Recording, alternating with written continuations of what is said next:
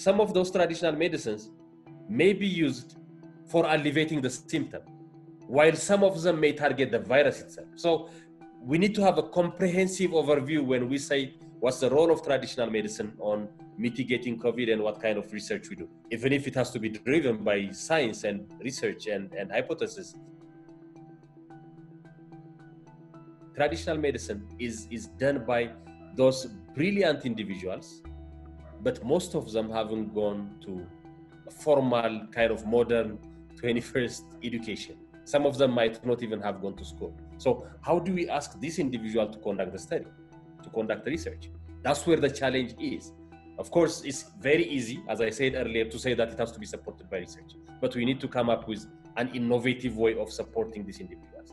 And there is, there comes the role of the government and leaders. There comes the role of institutions. There comes the role of ethics committee and those researchers who have been doing modern medicine.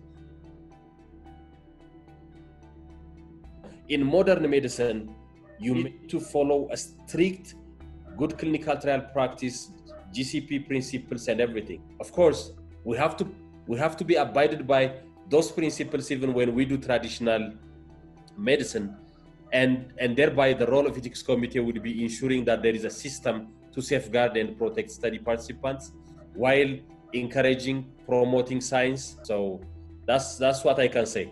Train individuals facilitate the approval process while ensuring that the basic principle of research ethics are is protected